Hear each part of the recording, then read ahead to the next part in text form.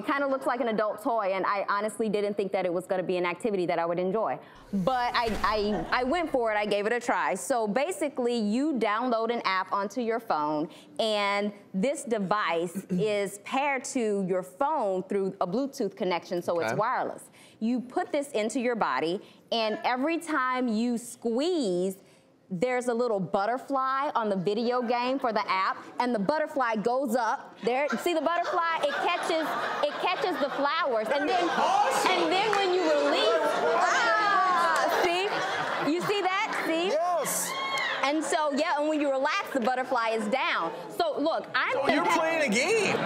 How long do you do this? 10 minutes? Well- And then you get back to it later in the day, a couple workouts a day? It depends. Like I'm competitive, so honestly, when my butterfly wouldn't get, wouldn't get the We go on the app. It's like personal best, and your little face going, yeah. I'm just saying, I don't like to brag, but high score.